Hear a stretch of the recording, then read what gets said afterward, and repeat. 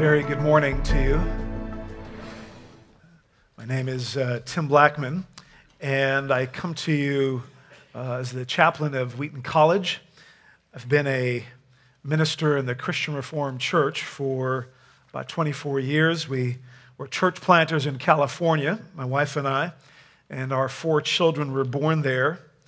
And then we moved from the Sacramento area to uh, the Netherlands, which is where I'm from originally. I was born and raised in The Hague, the Netherlands, and I served uh, the church I grew up in there for seven years before receiving um, the call to serve as Wheaton's sixth chaplain. It is uh, a privilege to be here with you and to open the scriptures. Uh, why don't we ask God for his blessing? Father in heaven, we thank you so much for the way you speak. You have spoken the entire universe into being. With the word you spoke, and the world came to be. And you showed your power and your authority and your might and your supremacy. And you have spoken not only through the prophets, but you have spoken ultimately, once and for all, through your Son, the living Word. And we pray it is His Word that we would hear this morning. And we pray that by the strength and power of your Holy Spirit, you would minister to us so that all our speaking would be careful and life giving, stewarded under the lordship of Jesus Christ. We pray, Lord, that you would speak through the reading uh, from Proverbs and from Paul's letter to the church in Ephesus. Speak, Lord. We, your children, are listening.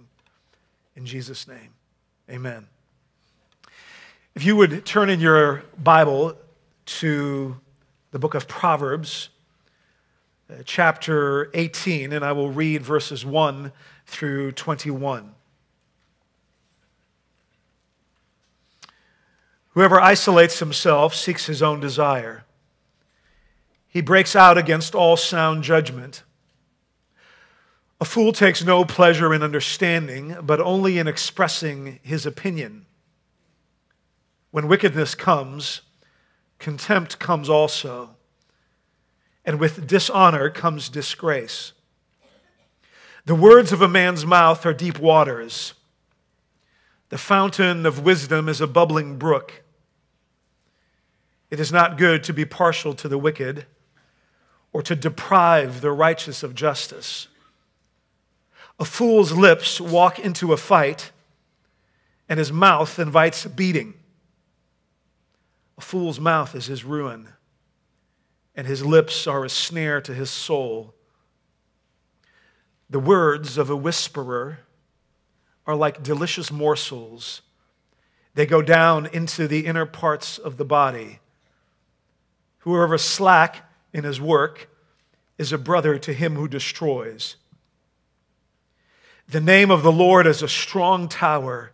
The righteous man runs into it and is safe. A rich man's wealth is before destruction, a man's heart is haughty, but humiliation comes before honor. If one gives an answer before he hears, it is his folly and shame. A man's spirit will endure sickness, but a crushed spirit who can bear? An intelligent heart acquires knowledge, and the ear of the wise seeks knowledge. A man's gift makes room for him and brings him before the great. The one who states his case first seems right until the other comes and examines him. The lot puts an end to quarrels and decides between powerful contenders. A brother offended is more unyielding than a strong city, and quarreling is like the bars of a castle. From the fruit of a man's mouth, his stomach is satisfied. He is satisfied by the yield of his lips. Death and life are in the power of the tongue, and those who love it will eat its fruits. Let me read that last verse again. Death and life are in the power of the tongue, and those who love it will eat its fruits. Also, if you would turn to Paul's letter to the church in Ephesus, chapter 4, and I will read from verse 17 to the end of the chapter. Now, this I say and testify in the Lord that you must no longer walk as the Gentiles do in the futility of their minds. They are darkened in their understanding, alienated from the life of God because of the ignorance that is in them, due to their hardness of heart. They have become callous and have given themselves up to sensuality, greedy to practice every kind of impurity. But that is not the way you learned Christ. Assuming that you have heard about him and were taught in him as the truth is in Jesus, to put off your old self, which belongs to your former manner of life and is corrupt through deceitful desires, and to be renewed in the spirit of your minds, and to put on the new self, created after the likeness of God in true righteousness and holiness. And listen carefully to these verses, starting in 25. Therefore, having put away falsehood, let each one of you speak the truth with his neighbor, for we are members one of another. Be angry and do not sin. Do not let the sun go down on your anger, and give no opportunity to the devil.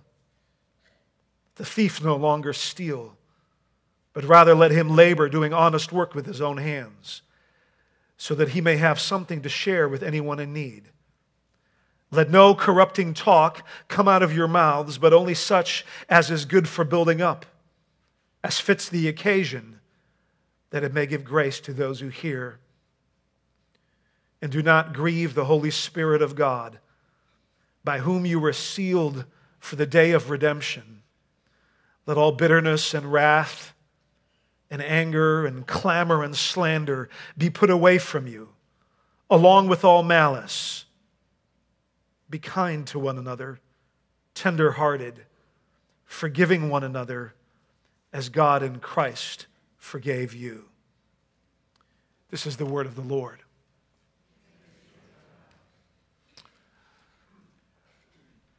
I still remember his uh, large farming hands, grubby with dirt under his nails.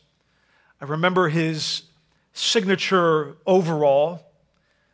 He always wore the blue jeans overall. It seemed to be his only outfit, almost like a uniform.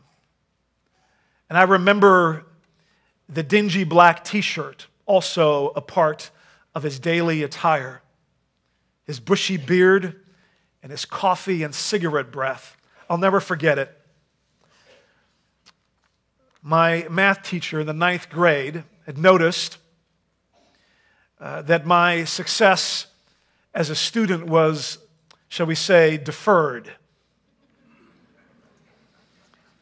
And I'll never forget the day when, exa- with a great deal of exasperation, he had my math test results in his hand. And as he was handing out grades, and at the time, this was in the Netherlands, and I don't know if they do this in America in, in high school, but at the time when you got an exam back, everybody in the class knew what kind of grade you were going to get. And he, he held up my exam for everyone to see, and he looked at me in front of the entire class of 23 students, and he said, Tim Blackmon, you are the worst student I have ever had, and you will never amount to anything. Now, what he was referring to was my math exam, of course. And uh, I know that in the US, the, the grading goes from A to F. And in the Netherlands, it actually goes from zero to 10. So zero is that you get nothing, and 10 would be like a, an A plus. Somehow, don't ask me how, but somehow I had managed to get a minus three. It, it, it is the European equivalent of getting the results on an exam back, and your professor has invented a new letter of the alphabet. A minus three. I don't know, maybe I got all the extra credit wrong as well. But what I remember is not so much the minus three, but those stinging words to me. Tim Blackmon, you are the worst student I have ever had, and you will never amount to anything. My, my father had similar words spoken over him. Uh, he had noticed that uh, only the members of the glee club in his eighth grade were the students that would get to travel beyond the boundaries of Raleigh, North Carolina. This is in the early 1930s. As a black man, as a young black man, he didn't have a lot of opportunities, but for some reason, he felt an itch to move away, to, to broaden his horizons. And it was the glee club that was the ticket. The only problem was that outside of singing once in a while at First Baptist Church of Raleigh, North Carolina, he'd actually never opened his mouth, didn't have a musical bone in his body. And so he auditioned. I remember him telling the story about how when he auditioned, he had heard Cab Calloway's song, Yes, I Heard, on the radio. And he decided to try to imitate it, except that it was monotone and he couldn't remember the melody line. And after he sang his first audition, the choir director looked at him and said, Henry Blackmon, don't you ever dare open your mouth again and sing. Uh, the great irony in my father's life is that he spent the better part of six decades as a professional singer, choir director, music teacher, opera singer, performed all over the world. Now, before you draw the, draw the wrong conclusions and you think that every eighth and ninth grade teacher is an ogre and an abusive educator, there is a little bit of a detail that I have to tell you, particularly about my math teacher, because there is another part of the story that I haven't told you. The months preceding the infamous minus three math exam, uh, I had been uh, teasing my teacher uh, not to his face, of course. I wasn't quite that courageous. But behind the scenes, behind his back, I had been spreading rumors about him. I had been making fun of him. I was making fun of his weight. He was rather a large man. I was making fun of the fact that he was a farmer. And of course, we were all city slickers. If you lived outside of our zip code, then you were a farmer. And that was a derogatory term. We made fun of his hands because they were always dirty. And part of that was dirt because I think he was a hog farmer. And part of that was the fact that he smoked and he always had yellow stains and he always had, he was grungy. And so I made fun of him. And I also explained that while my math success may have been deferred, there were reasons why his marriage was deferred. And these were the rumors that I spread about him, again, not to his face, but behind his back. I teased him. I had ridiculed him.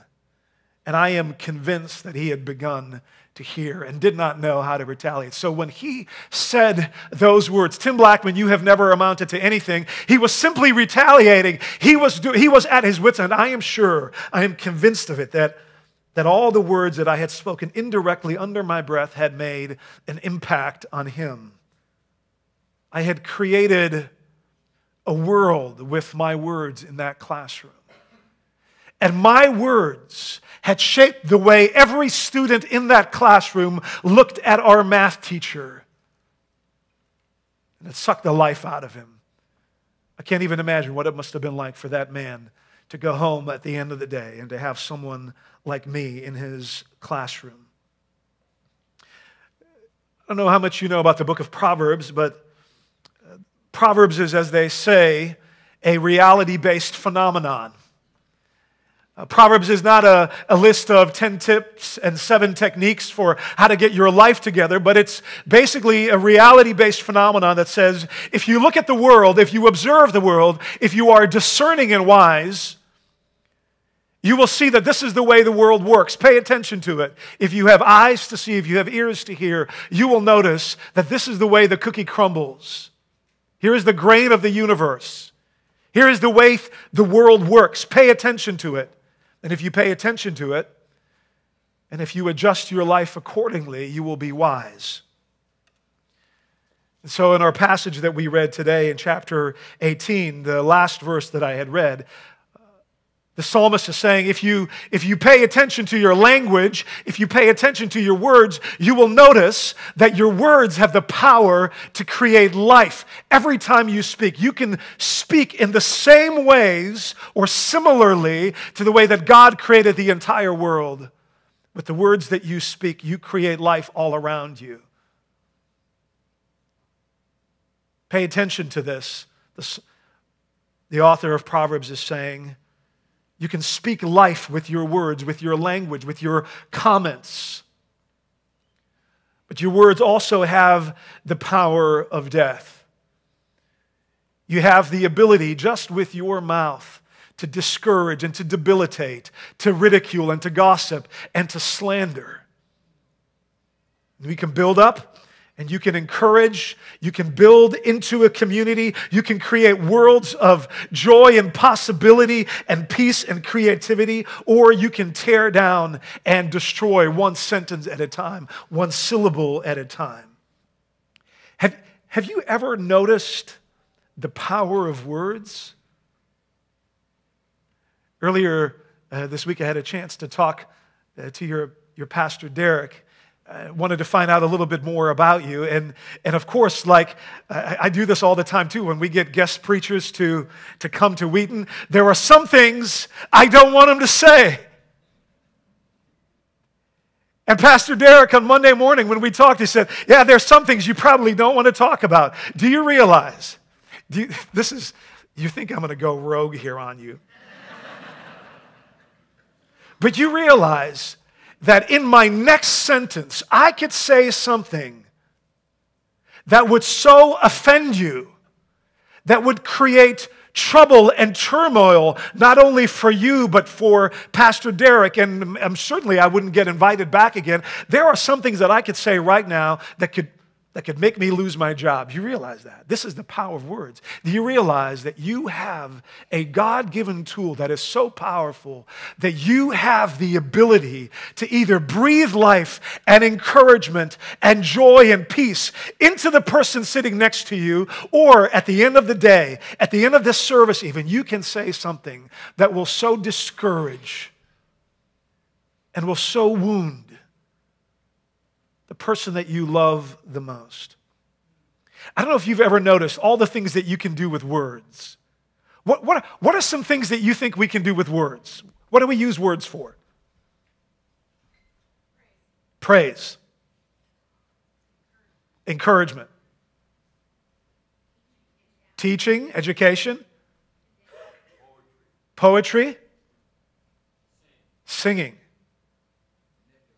Manipulation, yes. I don't know if you've ever noticed when the politicians begin to speak and they aim their words not at, oh, I, he told me not to talk about politics. and they aim the words not at your brain, but at your belly because there is promises, there are things that they want you to do. They want you to vote for the man or for the woman.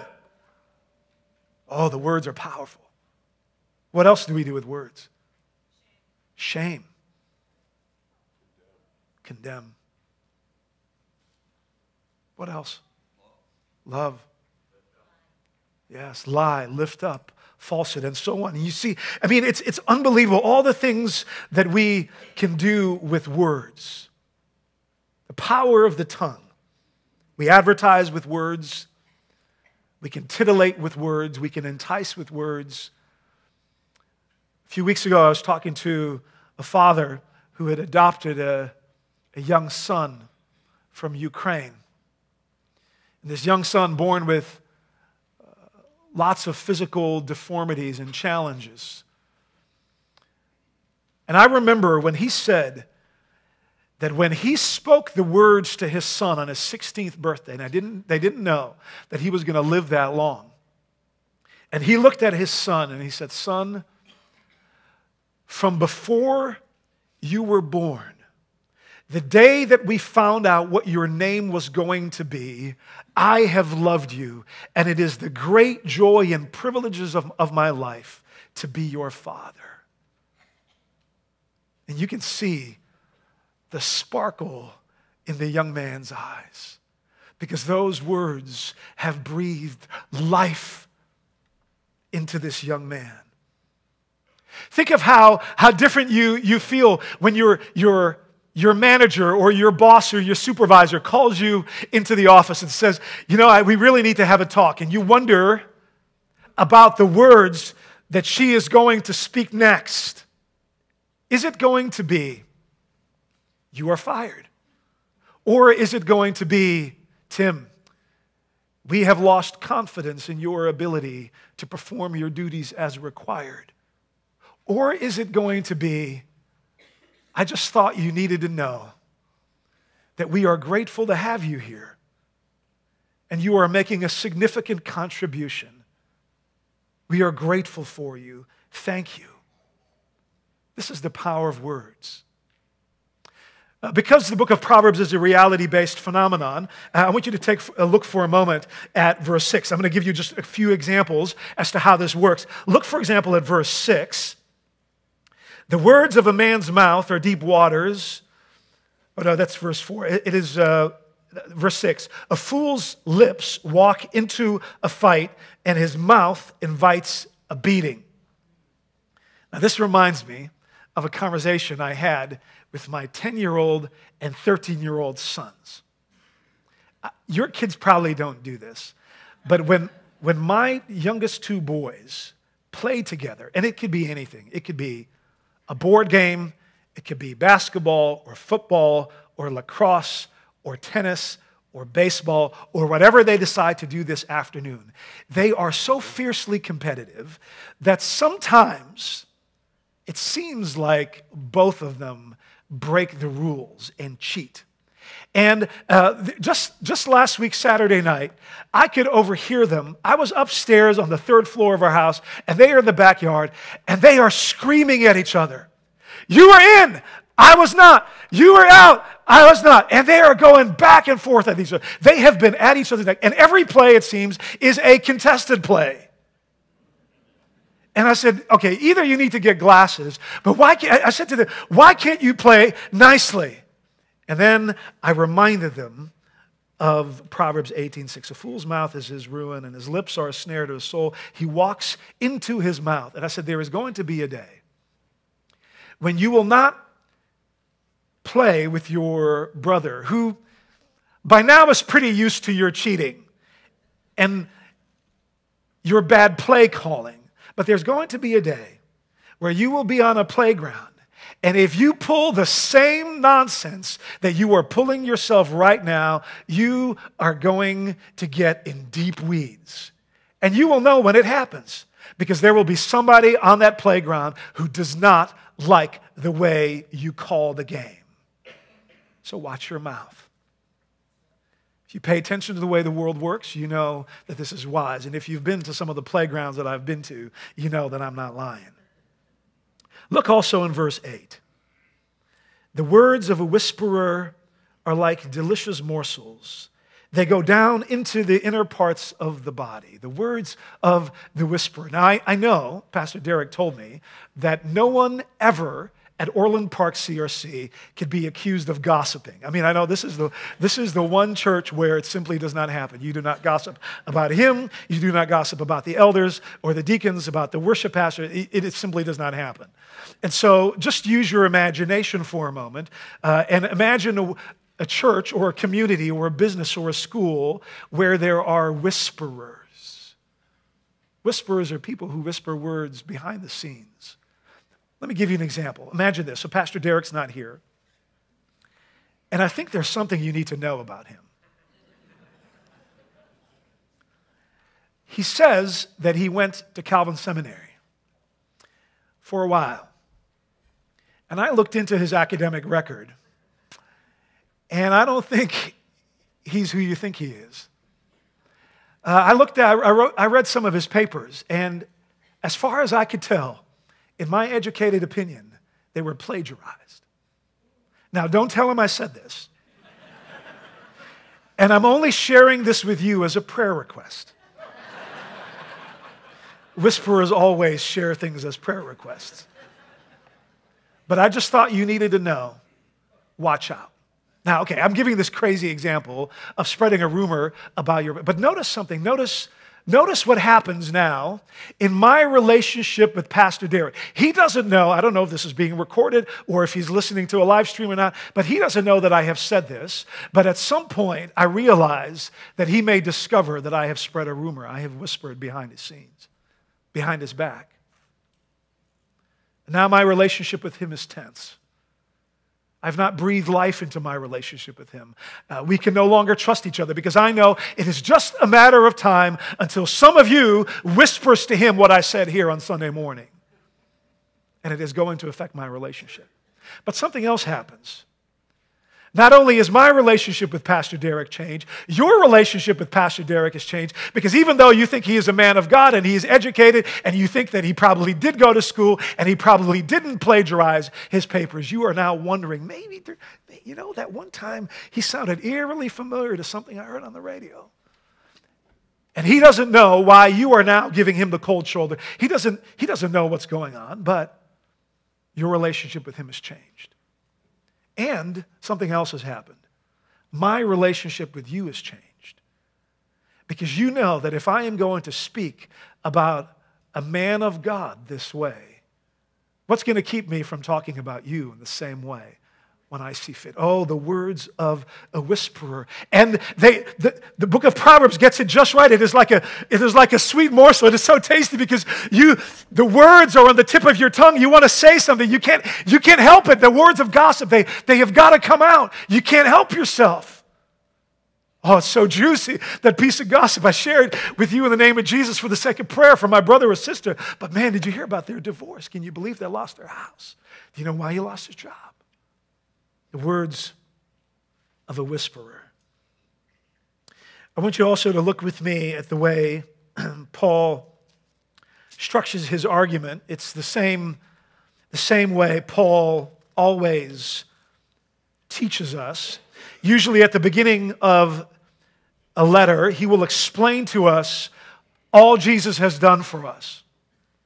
And if you look at Ephesians chapter 1, I mean, you can pick almost any chapter from chapters 1 through 4.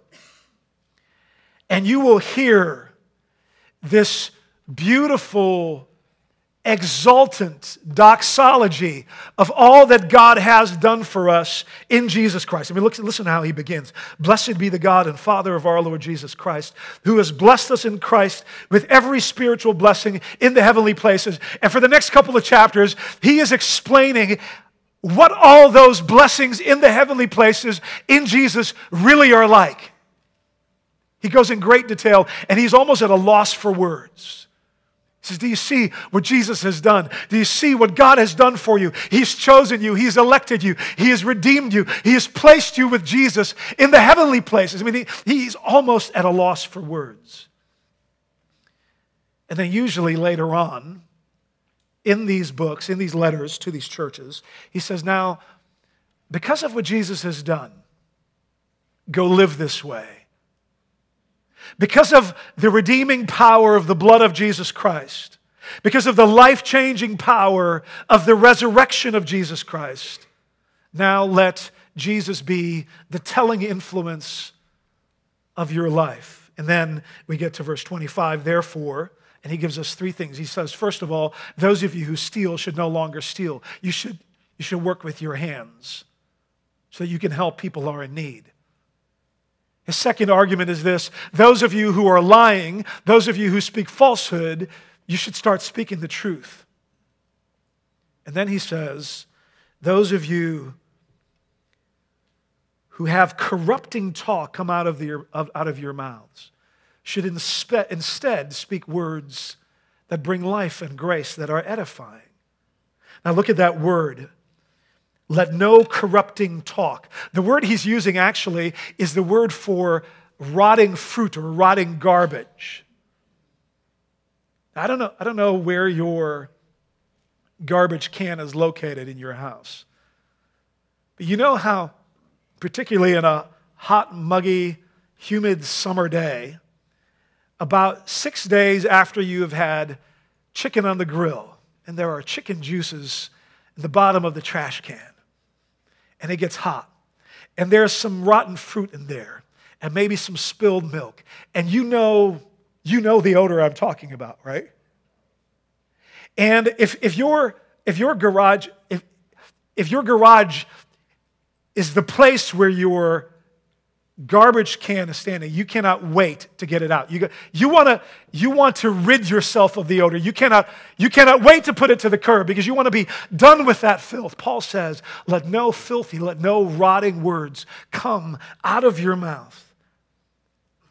He says, and these, this is a great line of questioning that you can follow.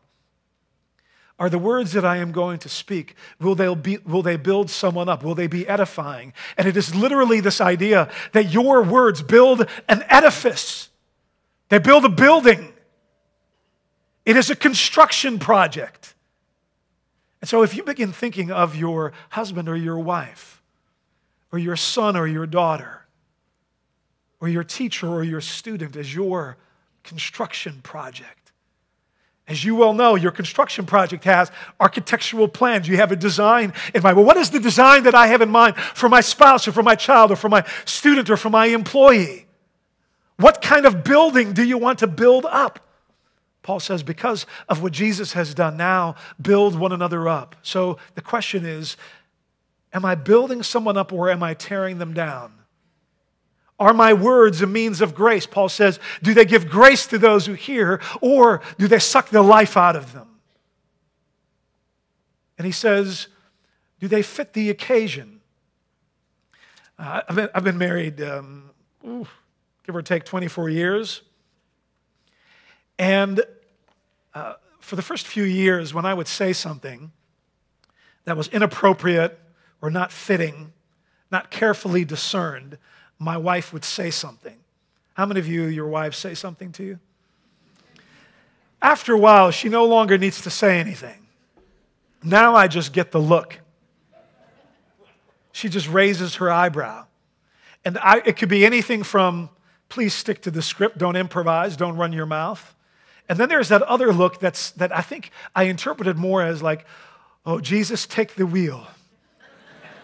Please guide this conversation because I do not like where he's going with this. And I know that oh, she doesn't even, and the, it is a reminder of me to only speak those words that are fitting because it takes careful discernment. You create worlds with the words that you speak. And I wonder what would happen if all of us would begin to understand that the power of life is in the tongue. And that if Jesus indeed is going to be the telling influence over our lives, that we would commit to only speaking those words that are edifying and encouraging and life giving. Words that bring peace, words that build worlds of joy and happiness and grace and gratitude in the communities we live in, the families that we have. You know, in, in closing, it, one of the things that I was reminded of uh, in the south part of the Netherlands, in a town of Maastricht, there is a, a convent. It's called the Nunnery. And the Nunnery has been a language training school for business people. So if you're American and you are sent over by your company to the Netherlands and they want you to have some base level of understanding of the Dutch language, uh, which with all its guttural sounds, is not the easiest to pronounce, admittedly. Uh, they send you to the nunnery, and you can either go for two weeks, for three months, or for six months. And here's, their, here's the method. And I, I have met people who've been to the nunnery, and I've been amazed at their ability to speak a foreign language. And here's, what, here's, how, here's how they do it you show up day one. Sir, do you speak Dutch? Not a word. Okay, so they would take you, and the first day you get there, and you get there at about lunchtime, and they would say, from now on, for the rest of your two weeks, three months, six months, you will no longer speak in English, think in English, phone in English, email in English, or write in English, Dutch only for you. And it begins right now. And this is what they call their complete immersion method. And it is amazing how, after this complete immersion in all things Dutch, after two weeks, three months, or six months, people come out speaking their foreign language fluently. It is only when we are deeply immersed in the finished work of salvation, it is only when we are saturated with the good news of the gospel of Jesus Christ every day that you and I will become fluent in the language of grace. And it is my prayer that Orland Park CRC will become like the nunnery, that you will be so immersed in the finished work of Jesus Christ on the cross and all the benefits that come with it, that his life and his love and his powerful speech becomes the telling influence of your lives, and that you would speak grace fluently. Let's pray. Father in heaven, we, we thank you for the words that you've spoken to us. Uh, we pray that you, that you would.